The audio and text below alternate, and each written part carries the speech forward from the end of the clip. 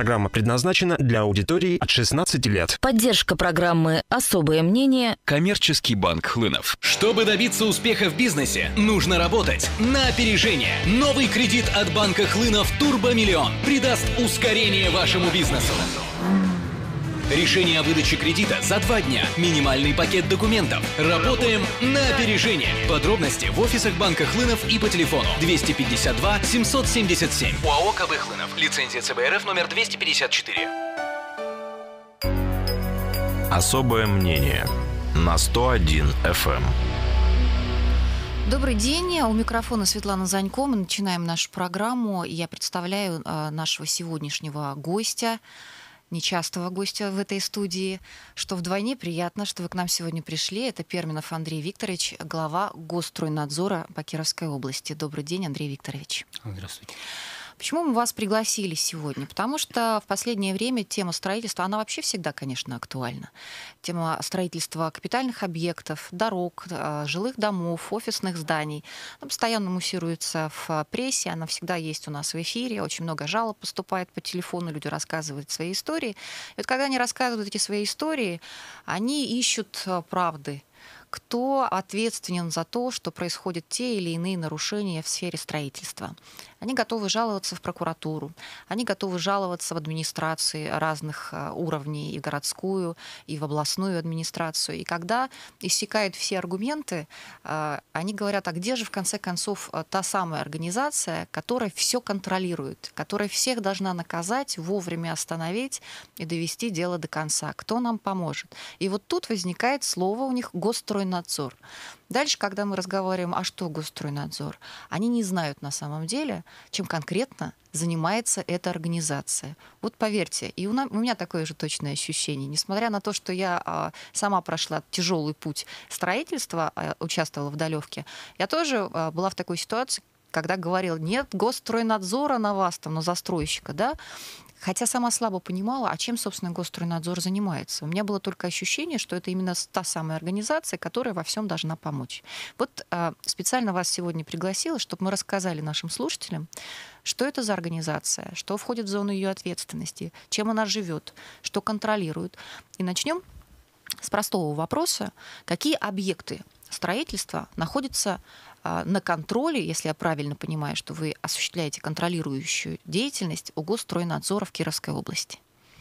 Вопрос понятен. Эм, не все объекты а, строительства поднадзорны региональному строительному надзору. А, перечень объектов, которые, за которыми мы осуществляем надзор, регламентируется градостроительным кодексом. То есть э, это те объекты, проектная документация которых подлежит экспертизе. Какие объекты? Э, наверное, проще обозначить круг объектов, которые мы не надзираем. Значит, не надзираем мы жилые дома до трех этажей, э, производственные, непроизводственные объекты до двух этажей площадью до полутора тысяч метров, и объекты, которые являются опасными производственными объектами, за которыми осуществляют надзор уже федеральные как бы, надзорные органы. А все То есть все остальное это, это все наше. Это огромный список это огромный объектов. Список, да. Давайте а, для того, чтобы а, стало понятно, а, что именно надзирается, пройдемся по статистике за 2013 год, и если есть возможность, за первое полугодие 2014 года. Потому что Госстройнадзор, надзирая, должен проводить какие-то проверки, выезжать на места, выявлять нарушения, штрафовать. Вот расскажите нам, чем вы занимались в 2013 году и, может быть, в динамике, что происходит в 2014? Ну, по 2013 году у нас следующие цифры. Э, то есть э, наше управление осуществляло надзор за 474 объектами капитального строительства. То есть цифра не маленькая. Э, было проведено за год 848 проверок. При проведении указанных проверок было выявлено 1282 нарушения. Это много или мало? А, ну, здесь считаются нарушения как бы абсолютно все. То есть э, в ходе проверки какого-то объекта может быть выявлено э, не один десяток, скажем, нарушений требований нормативных документов именно по строительно-монтажным работам. А, значит, в результате вот этих проверок управлением было возбуждено 73 административных дела. Также 21 административное дело было направлено на рассмотрение э, в суды судебные органы. Это в 2013 году. Это в 2013 году. Значит, сейчас я могу вот как бы вот эти административные дела разбить на поддела. Давайте. То есть мы осуществляем надзорные функции на соответствие строящихся объектов проектной документации техническим регламентам. Это, ну, образно можно сказать, это вопросы качества. А также мы осуществляем надзор за организацией строительства, то есть это наличие разрешений на строительство, наличие разрешений на ввод объектов в эксплуатацию, а, наличие а, допусков СРО подрядных организаций. Вот. И также мы проверяем и значит, в результате проверок составляются предписания, если выявляются нарушения, и проверка исполнения предписаний. Как бы еще вот такой вид у нас деятельности. Как и, происходит и... проверка? Вот э, э как Я встает... немножечко договорю по Хорошо. циферкам. Значит, вот по качеству у нас в 2013 году значит, было возбуждено 5 административных дел, то, что касается вопросов организации строительства, это я уже проговорил, то есть это э, извещение о начале строительства, наличие разрешения на строительство, э, наличие разрешения на ввод объекта в эксплуатацию. Таких было 52 правонарушения. Вот. Э, если говорить именно вот по организационным моментам еще раз разбить, то есть в 2013 году без разрешения строилось 15 объектов, были возбуждены дела. По всей области? Да. Значит, э, нарушение сроков направления извещения о начале строительства 14 случаев, а эксплуатация объектов без разрешения на ввод 22 случая. И дальше немножечко продолжить. По результатам вот этих проверок э, значит, было наложено 67 административных штрафов на общую сумму 2 миллиона 520 тысяч. Ну, если так раскинуть на 474 объекта, то, мне кажется, не такая уж большая э, сумма. Ну, это ведь не факт, что на каждом объекте мы выявляли какие-то нарушения и возбуждали административные угу. дела. В принципе, сумма не маленькая. И как бы итогом нашей деятельности надзорной является выдача заключения о соответствии построенного объекта проекту и техническим регламентам. Э, в 2013 году управлением было выдано 177 заключений о соответствии. Угу. То есть 177 объектов было введено в эксплуатацию. А сколько объектов э, остались, так сказать, за бортом?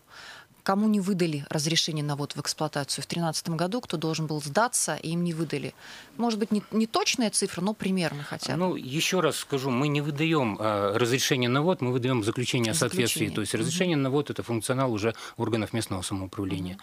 Но вот если мне память не изменяет, значит, э, отрицательных заключений в 2013 году было выдано порядка двух штук.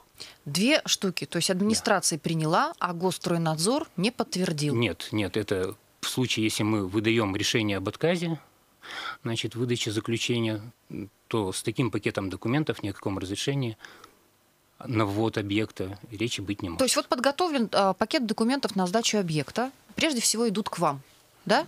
Значит, когда строительство объекта завершено, угу. застройщик нас извещает о том, что строительство объекта завершено, э, значит, э, мы назначаем так называемую итоговую проверку, проводим ее, и если объект действительно построен и соответствует всем требованиям, значит, нами выдается заключение о соответствии данного объекта. А потом уже администрация. А потом должна... уже в том числе с этим документом застройщик идет в администрацию и получает разрешение на ввод.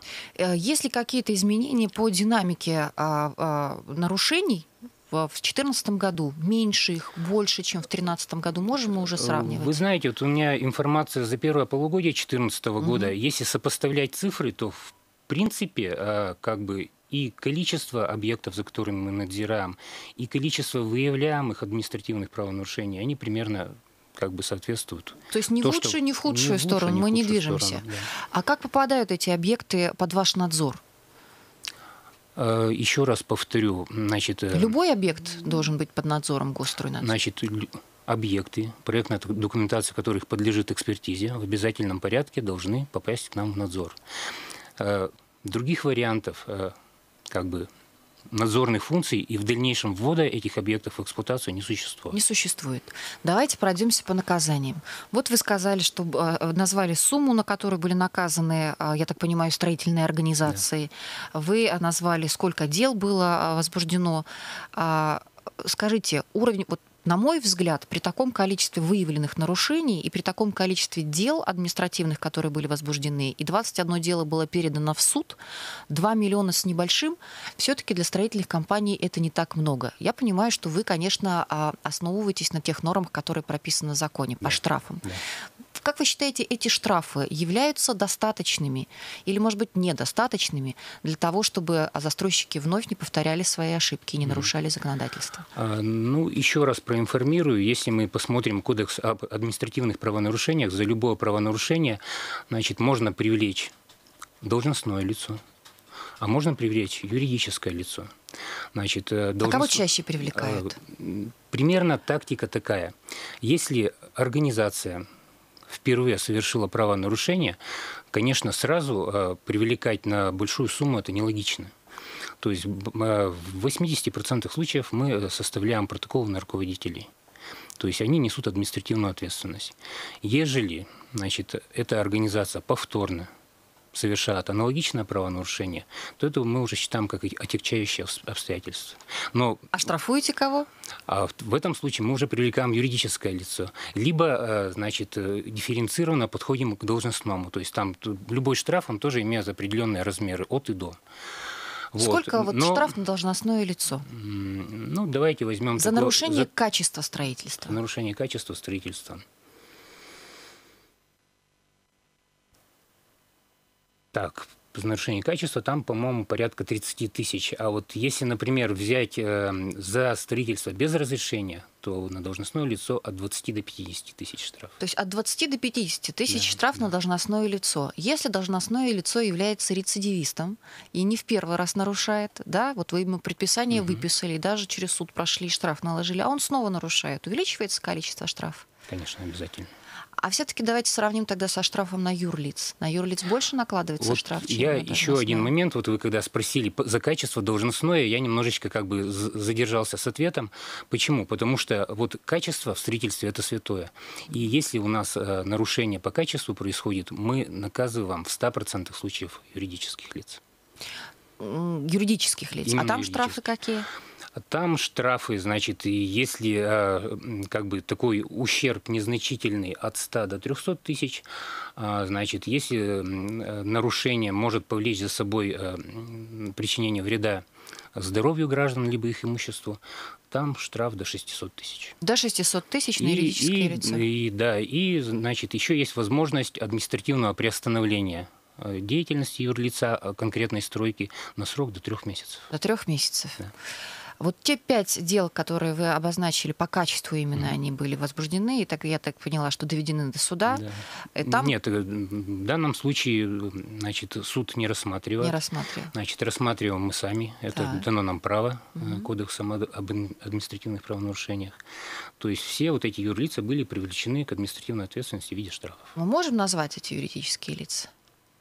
А где они находятся? В области или в городе? Э, Ну, я бы так сказал, что а, как бы все-таки основной процент у нас нарушений все-таки дает город Киров, потому что если проанализировать в целом по Кировской области, то 80% строящихся объектов это в городе Кирове. В городе Кирове. А документы, которые вы оформляете, а отчетность Госстройнадзора, она находится в открытом доступе? Ее могут посмотреть граждане? Да, конечно. А где можно ее посмотреть? Мы отчитываемся в стат управления. Эти документы у нас вывешиваются и на сайте правительства. Так что На сайте можно правительства посмотреть. Да, можно да, да, узнать да. про всех застройщиков и про юрлиц, нарушителей, про штраф, нет? Нет, там нет информации о конкретных лицах. Э, Вот еще раз как бы хочу напомнить, что с января 2012 года в управлении еще одна надзорная функция – это надзор за долевым строительством. И как раз вот, э, значит, создана на сайте правительства э, карта интерактивная э, проблемных объектах, вот там как бы, да, там звучат те организации, которые, значит, действительно каким-то образом э, нарушают права гра- граждан в части передачи, значит, построенных или не построенных квартир. Вот по правам граждан самое, конечно, интересное для наших слушателей, и по жилью самое интересное для наших слушателей. Мы помним, какой серьезной и громкой проблемой по всей стране гремела вот эта долевка, но не только в долевке ведь дело. Да, а по жилому строительству как раз очень хочется поговорить. Потому что если человек задумывается о том, что он покупает квартиру, вот кому ему э, в первую очередь идти? Там, в долевое, не в долевое там, да, строительство? Кому в первую очередь идти и проконсультироваться где, чтобы быть уверенным, что у этого застройщика все в порядке, у этого дома все в порядке, все документы есть, а в какие органы обращаться? Постоянный мониторинг ситуации по строительным организациям, которые занимаются строительством жилых домов, э, ведется как раз нашим управлением. То есть Госстройнадзор. Можно позвонить или прийти. Да, Госстройнадзор. Значит, мы полностью анализируем финансовое состояние всех э, предприятий, которые строят жилье, и можем прогнозировать даже, как будут развиваться события в дальнейшем на том или ином объекте. То есть, ради бога, телефон, значит, два, по двум телефонам можно звонить 64 10 19 либо 64, 36, 34. То есть, э, если какие-то есть вопросы, какие-то сомнения, мы можем пояснить, рассказать, предупредить, то есть полностью от нас можем получить. С 2012 э, года, когда а, пошло вот это вот все движение и строгий надзор за долевкой, да, изменилась ли ситуация в Кирове? А, меньше ли стало таких организаций, которые а, не выполняют свои обязательства перед дольщиками? Меньше ли стало появляться новых таких? Вообще появляются новые такие объекты с обманутыми дольщиками? Я бы сказал, что ситуация все-таки изменяется в лучшую сторону. Значит, вновь э, каких-то застройщиков, которые бы вот э, нарушали права граждан, Э, в этом смысле не появляются, то есть у нас фигуранты одни и те же. Значит, э, нами проводится работа по достройке объектов проблемных. Э, количество их уменьшается. И я, ну, конечно, все равно ведь во все времена были и мошенники, и еще какие-то. Есть такие люди, То да. есть э, исключить на 100% это невозможно, но, по крайней мере, та работа, которая проводится, и профилактическая работа, и административная, все-таки дает свой эффект. Вот сейчас, может быть, я не совсем точно назову цифру, но э, начиная с 2012 года э, порядка 600 с лишним человек были восстановлены в правах. И большинство вот этих граждан, именно объекты были достроены тем или иным способом. Ну, способы не самые, конечно, приятные бывают для дольщика, который ожидает, что он все-таки получит квартиру ту, которую он, которую он рассчитывал, да, а, приходится мириться с тем, что либо деньги возвращаются, либо что-то подешевле там строится, на самом деле так и есть. Но а, вопрос у меня как раз по работе с жалобами граждан а, все-таки тоже вот в плане поставлен. Вы говорите, что граждане могут обращаться в Госстройнадзор, например, когда они покупают квартиру или уже купили, и там какие-то происходят непонятные вещи, тормозится строительство, они могут прийти к вам и проконсультироваться, а что происходит, как надзирается этот объект, да, Всплывали такие ситуации, когда вы были не в курсе, что на, объекты, на объекте проблемы?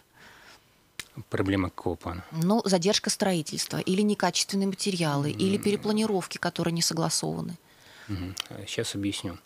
А, вот э, наши проверки проводятся не в соответствии с планами, как проводят многие другие надзорные органы, а мы проводим проверки в соответствии с программами проверок. Что такое программа? То есть э, любое строительство можно разделить на этапы. Ну, допустим, устройство фундамента, кладка стен – допустим, монтаж каких-то систем э, водоснабжения, э, электроснабжения, э, благоустройства. И вот эти все этапы, они разбиваются по времени.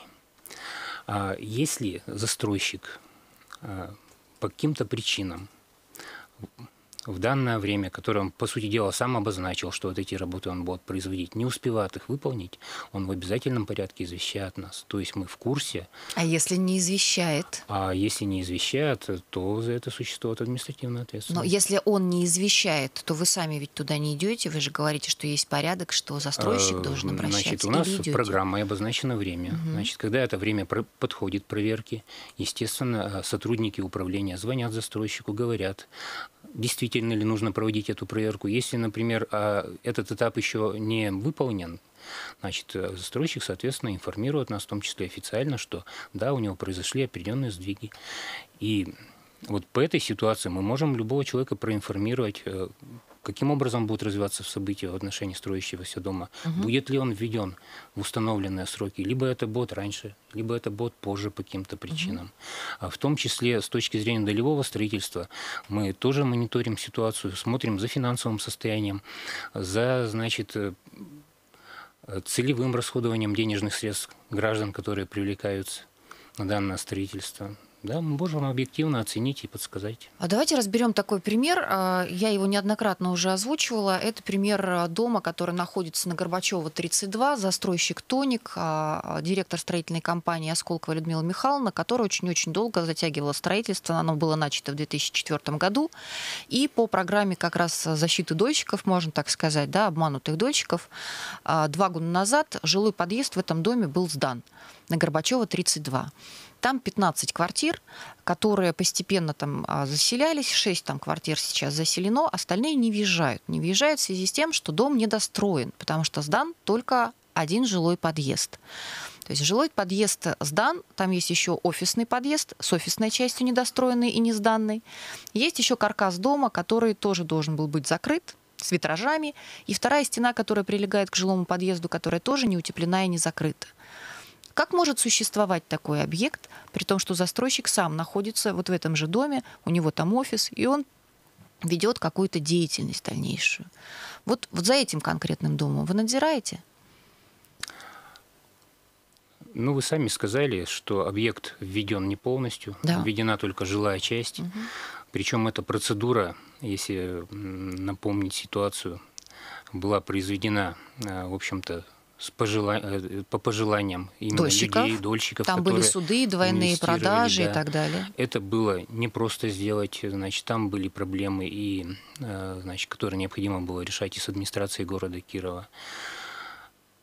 Значит, да, люди знали, что какие-то недочеты есть. Сейчас не идет вопрос о, о подъезде жилом. Угу. Вот вопрос о достройке дома, офисные его вопрос части, достройки. приведение в порядок. Вот это в чьей сейчас зоне ответственности? Офисная часть тоже долевка. Это дольщики должны сейчас делать? Или все-таки строитель, строительная компания, которая все еще существует, должна довести дом а, до, а, как говорится, ума и сдать? Я считаю, что в данной ситуации как бы зона ответственности и это именно зона застройщика, то есть той организации, которая этот дом строила. Другой вопрос, а имеется ли у него сейчас возможность э, достраивать это. Но там ведь есть какая-то другая процедура. Если застройщик не имеет такой финансовой возможности, то разве не существует процедуры передачи строительства можно другой перед, строительной можно компании? передать да, другой строительной организации, которая достроит и, как бы сказать, найдет применение данным помещениям. А кто и куда должен заявить на застройщика, чтобы процесс пошел, потому что дом строится 10 лет. 2004 год разрешение на строительство, начало строительства, нынче 2014 год. На, прим- на примере мы должны разобрать, ну, чтобы люди поняли. Сразу скажу, что вот э, как бы сказать, вот то, о чем мы сейчас говорим, это не входит как бы круг обязанностей моего управления. Госстройнадзора. Госстройнадзора, угу. да. Это все-таки должен решать сам хозяйствующий субъект. Это а кто? А как о, Тоник, да, правильно говорю? Так, О, Тоник, который вам не сообщает ничего о том, что у него проблемы, и он не может достроить дом, и что должно происходить? Я считаю, что здесь, э, видимо, какая-то инициативная группа должна этим заниматься вплотную вопросом. Ну. Потому что на самом деле я ведь понимаю, когда mm. люди живут в своих квартирах, а под ними находится встроенное помещение, которое может быть даже и не отапливаются зимние Андрей. Викторович, вот ситуация какая? Вы говорите, что у Госстройнадзора есть а, график проверок. И, например, у такого дома, я думаю, что он не единственный, который сдан или не сдан наполовину, или не досдан. У, у, у такого дома тоже есть график проверок. Вот сдан жилой а, подъезд. Есть еще офисная часть, она не сдана. Сроки-то остались. Сейчас, сейчас поясню. Угу. Значит, э, если застройщик не в состоянии осуществлять дальнейшее строительство, он нас письменно извещает о том, что строительно-монтажные работы остановлены. А он вас не извещает, а они остановлены. Они остановлены. И что делать в этой тогда? Ну, граждане должны подать жалобу в Госстройнадзор. А, Или Госстройнадзор вы, должен прийти? Нет, вы понимаете, тут вот в данной ситуации рычагов-то воздействия, по сути-то дела, нет. Ну, вы только что сами сказали, что строительство может быть передано той строительной компании, которая способна Но это, его это завершить. решение должен принять тот хозяйствующий субъект, который на сегодняшний день строит. Но он не заявляет и не достраивает. Дом разрушается, опасно для жизни. Там собираются подростки, распивают пиво на железных балках. Кто-то должен этим заняться. Вот кто? Почему мы и говорим, вот куда обращаться? Если это не Госстройнадзор, то какая другая организация? Не может же существовать строительный объект вот в недостроенном виде с а, полузаселенный людьми и не доведенный до, до ума. Кто-то же должен. Чья это зона ответственности? Я считаю, что здесь все-таки активнее должна работать администрация города Кирова. Администрация города Киров, но и граждане, наверное, сами, которые в этой долевке есть. Они должны написать какие-то Да, письма, да, да, сообщить о То есть должна быть ситуации. проведена как, м, как осуществлена какая- чья-то инициатива. О ситуации должно быть э, сообщено, Да. как минимум, и тогда уже будут приниматься меры. Вот после короткой рекламы я очень хочу с вами поговорить по поводу перспектив работы Госстройнадзора и по поводу самой структуры, кто в ней работает, какие специалисты, сколько вас, успеваете все делать, не успеваете, объем вашей деятельности. И обязательно хочу вас спросить, ваше личное мнение хочу спросить, о, по поводу инициативы депутата Машуренко, которая вот э, сегодня в ОЗС обсуждается, это сохранение исторической, э, исторического облика города и против точечной застройки. Вот что вы об этом думаете, поговорим после рекламы. Программа предназначена для аудитории от 16 лет. Поддержка программы «Особое мнение» Коммерческий банк Хлынов. Особое мнение на 101 FM. Продолжается программа «Особое мнение». Сегодня у нас такая смешанная программа, я бы сказала, потому что гость наш Перминов Андрей Викторович, глава Госстройнадзора по Кировской области, впервые у нас в студии, поэтому мы начали с того, что привели статистические данные по работе Госстройнадзора за 13 и начало 2014 года. Количество дел, проверок, которые были проведены, количество дел, которые были возбуждены, штрафов, которые были наложены. Мы также попытались разобрать ситуацию с долевым строительством на примере одного из домов в этом городе. Кто и за что должен отвечать? Вот а, Андрей Викторович тут задумался по поводу дома, который мы приводили в пример, что с этим можно сделать, потому что я понимаю, что таких такое есть ощущение, вы знаете, что в городе существуют дома-призраки. Они вроде бы есть, и, но их вроде бы нет. Вот я думаю, что эту тему мы как-то разовьем в одном из ближайших разворотов на бизнес с Олегом Прохоренко. А сейчас, поскольку главной задачей сегодняшней программы было познакомить наших слушателей и с вами персонально, и с деятельностью Госстройнадзора, чтобы у всех ну, возникла ясность, чем конкретно он занимается, мы а, про объекты уже поговорили, хотим поговорить про тех специалистов, которые работают непосредственно в самом Госстройнадзоре. Во-первых, велика ли ваша структура? Сколько человек в ней работает? В нашей структуре работает на сегодняшний день 15 человек. Немало, как мне кажется. А Кто эти люди? Какое у них образование, профиль работы? Э, Значит, ну, основной процент э, наших сотрудников э, имеет образование строительное, высшее строительное образование. И, в общем-то, как раз вот сектор их ответственности и работы – это надзор за строящимися объектами с точки зрения соблюдения нормативов строительных. Э, Также хочу проинформировать, что э, в рамках государственного строительного надзора нами осуществляется пожарный надзор и санитарный надзор. Эм, То есть на- что это значит? Давайте применительно к жилым помещ- домам, Э, например. Применительно к жилым домам. То есть э, жилые дома, э, которые строятся и которые в дальнейшем вводятся, должны быть безопасны со всех точек зрения. Значит, существует несколько типов безопасности. Это может быть механическая безопасность, то есть то, что касается конструктива.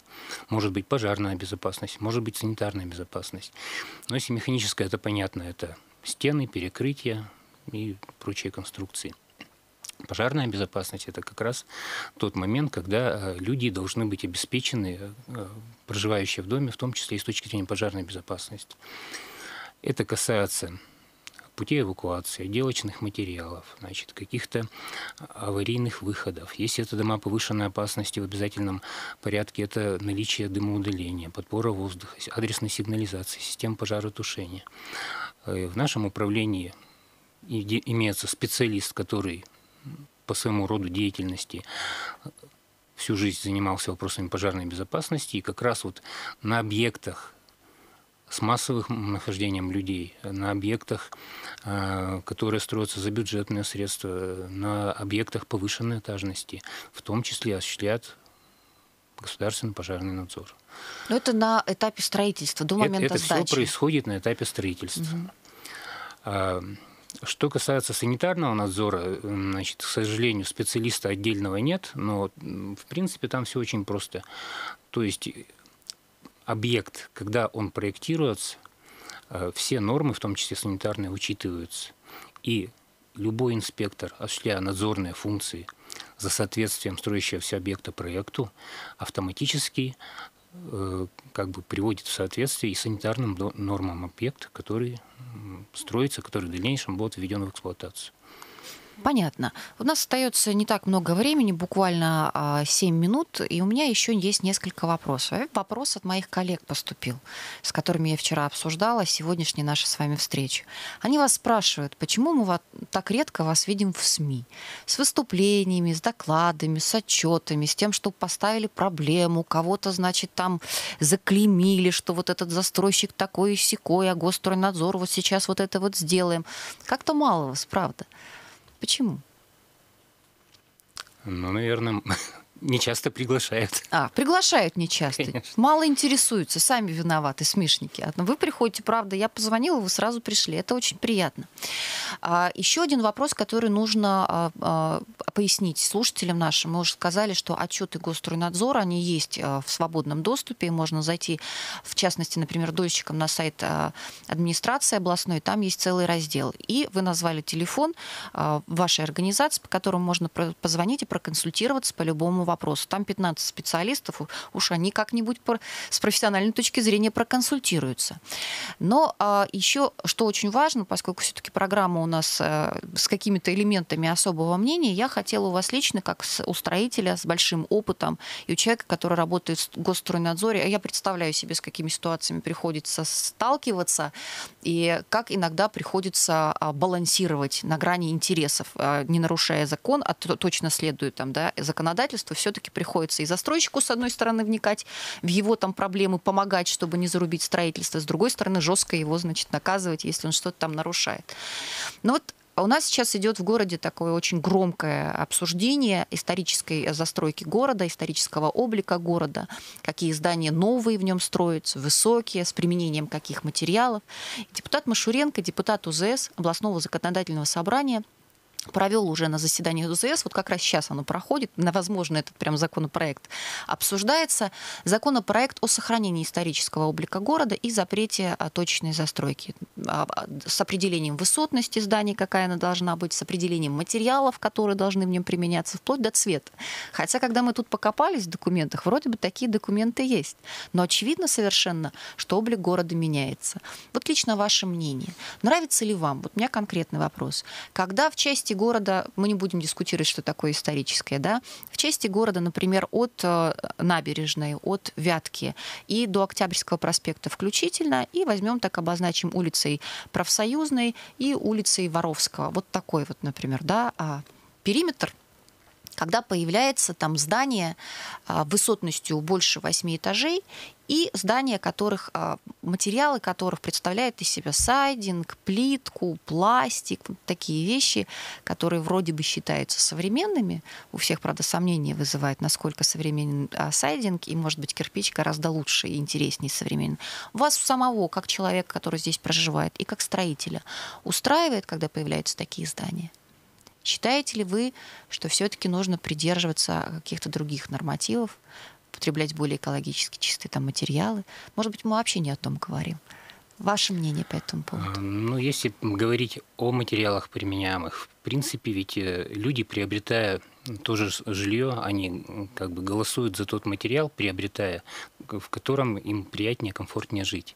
Или который дешевле делает их жилье, правда же? Ведь современные материалы, они направлены на удешевление строительства. Ну, по крайней мере, в, в центре, вот в той части, которую вы обозначили, по крайней мере, сайдинга я не помню, чтобы объектов было. А плитка вот эта такая, а, То, что касается вентилируемых фасадов, да, угу. а, да, это у нас появилось недавно, но, честно говоря, я не очень хорошо а, как бы отношусь к ним, потому что вентилируемый фасад а, это все-таки такой элемент, который не совсем хорошо влияет на безопасность объекты. Почему? Дело, видите, в чем? А, как делается вентилируемый фасад? То есть э, выполняется э, значит, основная часть стены, несущая из кирпича. Э, в дальнейшем она утепляется, и значит, на каркасе крепится вот эта плиточка. То есть между утеплителем и плиткой имеется воздушный зазор. Любой воздушный зазор – это как вытяжная труба. То есть, не дай бог, а, значит, если попадает туда какой-то горючий материал... Спичка, то, сигарета, не дай бог. То, ну, все материалы, которые применяются, они имеют сертификаты именно по противопожарной безопасности, но доля какого-то вот такого риска. риска, она есть. Тем более, что вот все эти фасады, если брать, например, какие-то проемы, оконные, дверные проемы, которые выходят на фасад, обязательно должна быть а, противопожарная отсечка. Должны быть противопожарные отсечки по высоте, то есть а вот здание традиционное, когда э, лицевая кладка выполняется либо кирпичом, либо каким-то камнем, я считаю, что это, во-первых, намного приятнее глазу и как бы в эксплуатации это намного... Веками пройденный да, да, опыт. Да, да. Это вот мое мнение, вот, э, если речь идет о внешнем.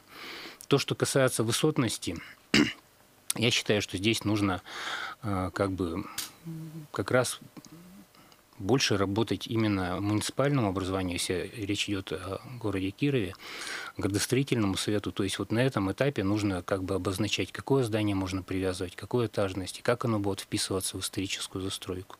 Конечно, когда среди э, трех, там, четырехэтажной застройки появляются здания высотные, э, они смотрятся странно.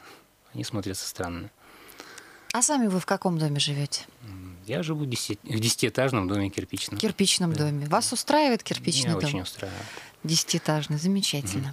Ну, а вот э, вопрос, э, значит, э, вы тоже как бы поднимали mm-hmm. о точечной застройке. Да. Вот я, понимаете, я не сторонник каких-то крайних мер. Вот у нас зачастую люди бросаются в две крайности. Либо только точечная застройка, либо, значит, там Никакой новое строительство, застройки. там, допустим, комплексное освоение каких-то застроенных Территорий, кварталов. Да. Я считаю, что и то, и другое может иметь место. Вы посмотрите, сколько у нас еще в городе деревянных домов которые расположены как бы небольшими группами и в центре, и где-то и на окраинах.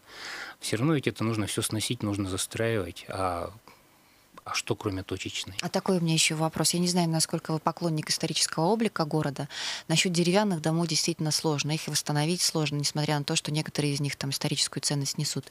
А вот старинные каменные дома, кирпичные дома, красный кирпич, знаете, с такими толстыми стенами, вы, как э, житель города, скорее бы хотели, чтобы были сохранены или их тоже сносить? Я считаю, что дома, которые еще могут жить, могут эксплуатироваться и значит, не разрушаются, их однозначно надо сохранять. Нужно сохранять. Конечно. Спасибо вам большое за ваше личное особое мнение. Я напоминаю, что у меня в гостях сегодня был Перминов Андрей Викторович, глава Госстройнадзора по Кировской области. У микрофона была Светлана Занько. Всем спасибо. До свидания. Особое мнение на 101 FM.